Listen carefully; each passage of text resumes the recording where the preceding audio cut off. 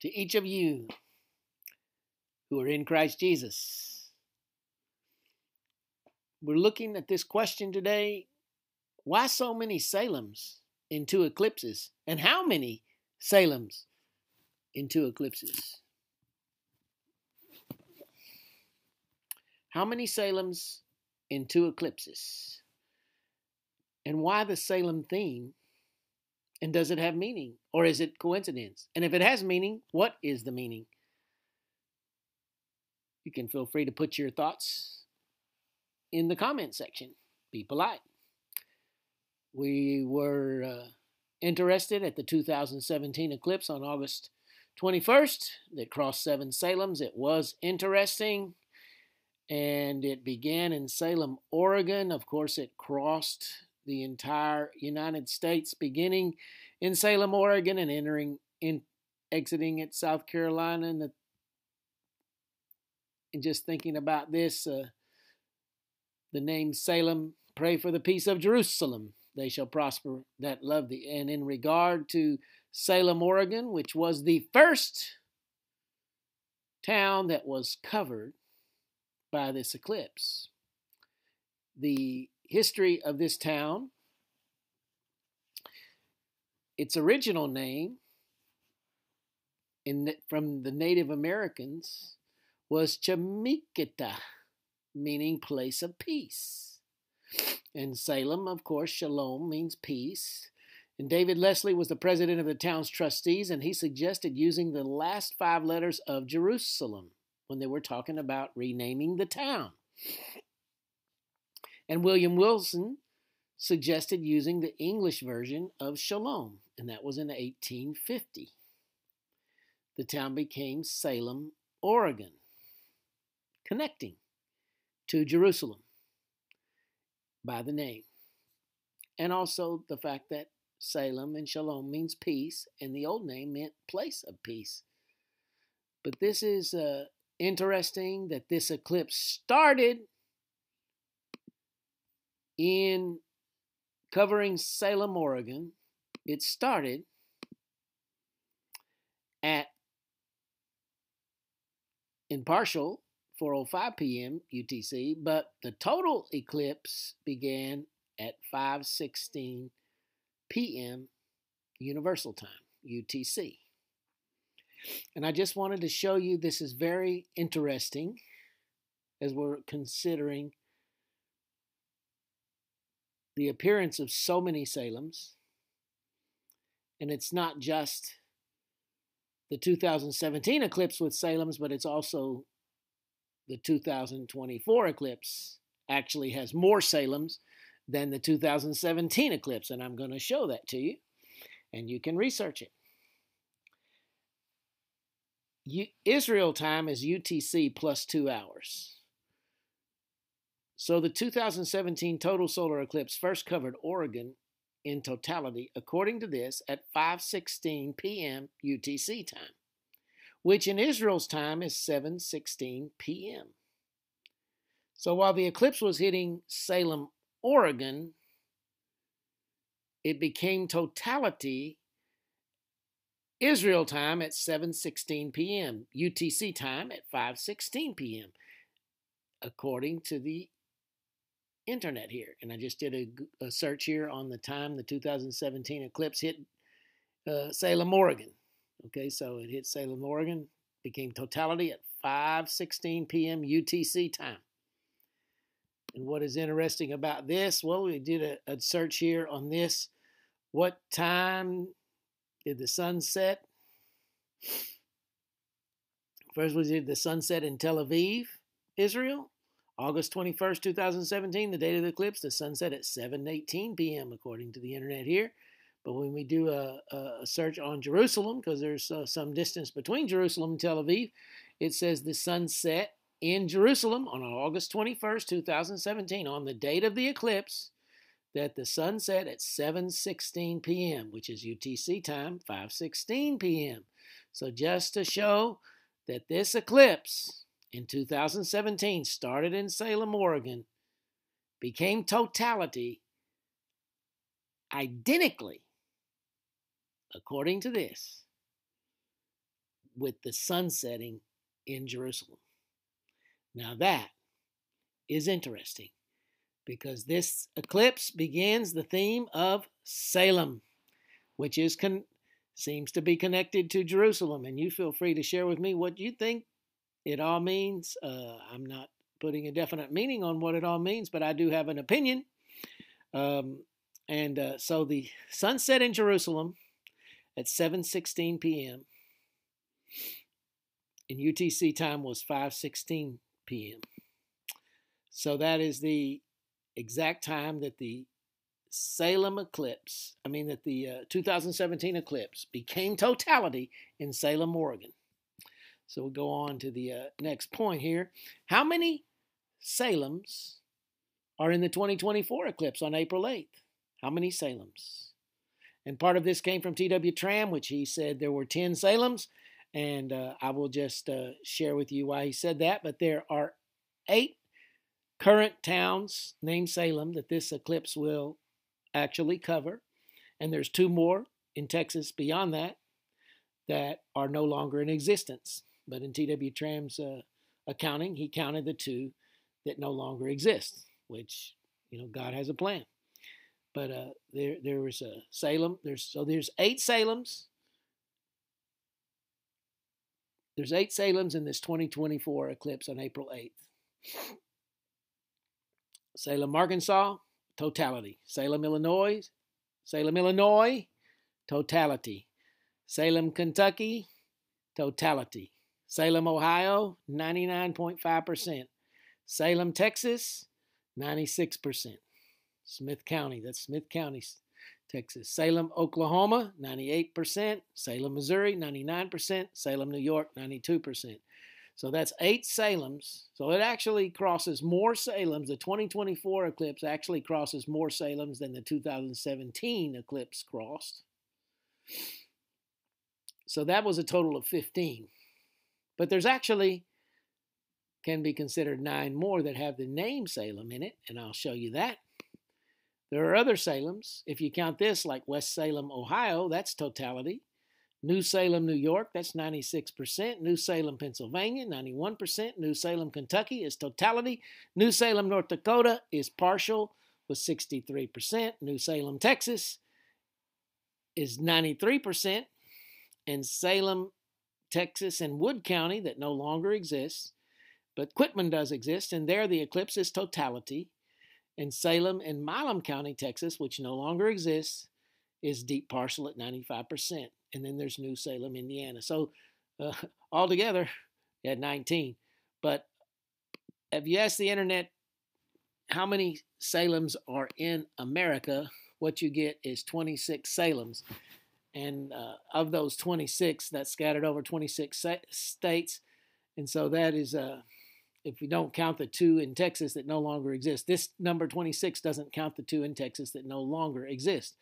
So the Salems the total number of Salems would be 15 out of 26 or 17 out of 28 if we count the two in Texas that no longer exist. And that 61% of the towns named Salem are covered by these two eclipses. In, in spite of the fact that the two eclipses cover approximately 10 to 12% of the landmass of the United States, but 61% of the towns named Salem are covered by the two eclipses. And so uh, with the 2017 eclipse starting in Salem, Oregon, as we said. And then another very interesting thing is the crisscross uh, line, the center line of the crisscross is at Salem Road. And um, I'll show you that the crisscross area here is Carbondale up here, and down here is Makanda, Illinois. Past this little uh, line here down down here, Makanda, Illinois. And then right here, uh, just east of Cedar Lake, just southwest of Carbondale or northwest of Makanda is this little road called Salem Road. Salem Road, the closest road to the very center line. And right there next to it is Cedar Lake. And that is where the crisscross area is on Salem Road. So that's pretty interesting. That's a little dead end road like this. The little dead end road, Salem Road in Makanda, Illinois. The closest road to the center line, just east of Cedar Lake. That is interesting. And of course, we have shared this before, but we always want to remember this. Praise the Lord. This eclipse on April 8th just crosses the area that uh, that is the crisscross area. About 50 miles from there comes to Rapture, Indiana, and there's one Rapture in the entire United States in terms of a town, and that eclipse crosses it in totality. In other cities that this eclipse crosses on April 8th is Bride, Tennessee at 98%, and Elijah, Missouri, which is totality. Of course, those things can relate both to the rapture and because the end, the end times here. Elijah be one of the two witnesses, we do believe. So it's interesting as we consider this is the very first use uh, of the word Salem in the Bible. Genesis 14, 18, the first use. Then Melchizedek, Melchizedek, king of Salem, brought out bread and wine. And Melchizedek means king, righteous king, or righteous king, the king of Salem. Melchizedek, king of Salem, king of peace. And this was referring in early times to Jerusalem before it was ever called Jerusalem. Before any yeah, but so uh, this is the very first name in the Bible of Jerusalem. Then Melchizedek, king of Salem, brought out bread and wine. And you know, we are waiting as children of the king we are waiting as children of the righteous King. We are waiting for the King that has already brought us peace in our hearts, the King of Salem. He's brought peace through the blood that he shed on the cross to cleanse our sin, and we have peace with God through faith in Jesus Christ. Hallelujah. But the Bible says here, he brought out bread and wine to Abraham. And you know, we're thinking about this. Jesus isn't going to celebrate Passover anymore until he celebrates it with us in the kingdom of God. And I believe after the rapture, then we get to celebrate Passover again together with Jesus. And he was priest of the Most High God, as Jesus is king and he is priest. He is prophet, priest, and king, God the Son who became a human being, took on human flesh, added a human nature. That is, he was divine. Divine nature was eternal, always been, but he added a human nature in God's astounding plan to save us from our sins and give us peace. And he blessed Abraham saying, Blessed be Abraham by God Most High, creator of heaven and earth, and praise be to God Most High, who delivered your enemies into your hand. Then Abraham gave him a tenth of everything. So, so praise be the Lord. Melchizedek came and met Abraham, blessed him, and said, Praise be to God Most High, who delivered your enemies into your hands. I mean, you come, come to the point to have peace. That's the very first use of the word Salem. And then the Psalm 76, verse 1 to 3. In Judah is God known, his name is great in Israel. In Salem also is his tabernacle and his dwelling place in Zion. God's dwelling place is God's tabernacle is in Salem and his dwelling place in Zion. There break ye the arrows of the bow, the shield and the sword in the battle, Selah. And when we see this word Selah in the King James Version many times, it can at least seem to have a reference to the rapture of the church. So that you can look at that. It's interesting. And I'll conclude with this hurricane. Now, so I'm asking you the question what does all those Salems mean? What does all those Salems mean? Uh, what do you think it means? I do have an opinion. I'm not going to share it right now. Uh, in in in total, I'm just uh, give you food for thought. Interesting observations. But I will share this. Hurricane Idalia, six months ago, hit Rapture Island there, close to Florida, just off Florida here. And August 30th, 2023. And Idalia means behold the sun. so before I said there's only one place called Rapture, and one of the commenters uh, mentioned, hey, there is a Rapture Island in Florida, and yes, there is. So actually, there's two places called Rapture, but but only one town called Rapture, and that is Rapture, Indiana. But there is Rapture Island. I don't know if it uh, has any population or not, but uh, um, but Idalia hit Rapture Island, and Idalia means behold the sun. And so I just thinking, behold the Son of God, He's coming soon. Or we might think it this way, behold the sun, as in the upcoming total solar eclipse because Jesus said there will be signs in the sun and the moon and the stars. So Idalia going to Rapture Island is waving a flag here saying, look at the sun for the for the for the upcoming rapture of the bride. So we think, behold the sun in the upcoming total eclipse of October of April 8, 2024. And it covers Rapture, Indiana in totality. 50 miles from the place where the crisscross is by and it's over by 3:15 p.m. It's 50 miles from the center line of the two eclipse. So we just want to close here with uh with this uh, song here. All the way my Savior leads me. What have I to ask beside? Can I doubt his tender mercies, who through life has been my guide. Heavenly peace, divinest comfort, ere by faith in him to dwell. For I know whate'er befall me, Jesus doeth all things well.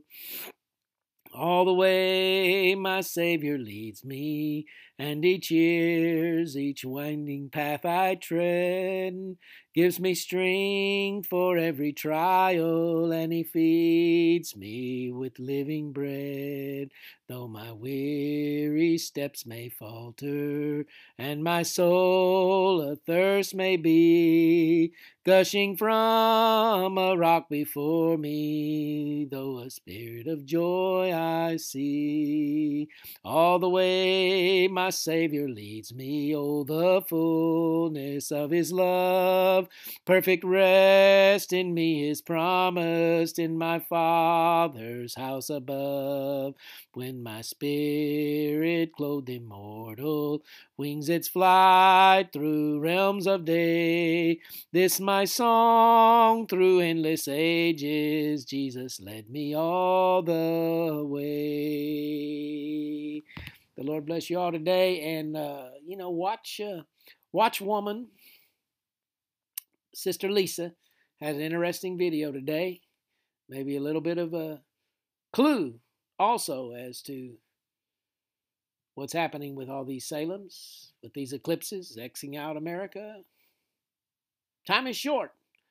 I do agree with this. Time is short. Jesus Christ is coming soon for the bride, and judgment is coming soon, I do believe. So prepare to meet God. Check this website, he died for you.com. If you then be risen with Christ, seek those things which are above, set your affection on things above, not on things on the earth, Colossians 3 says. For when Christ shall appear, then shall you also appear with him in glory. God bless you all.